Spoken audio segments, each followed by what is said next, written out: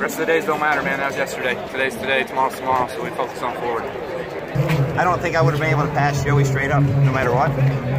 Uh, and then one of the lap cars just completely hosed him, and I got by him. And then a lap later, a lap car completely hosed me, and he got back by me, and uh, he got hosed one more time by a lap car. It was just a constant battle of lap cars hosing the leader, and uh, I couldn't quite pull the slide job uh, like I needed to, and, and I couldn't keep him clear. So it was a good battle uh, through the lap cars and uh, so forth.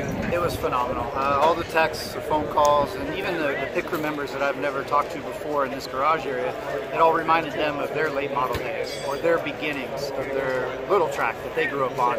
And so the bull ring is what gave me the opportunity, along with Star Nursery. And Chip Ganassi, I do have to thank him because he discounted the car pretty heavily uh, for Craig. But it's really neat, though, to, to pull it all together. And uh, with a top five run, maybe now we got to make diecast. So we'll bring diecast back when we're here in September.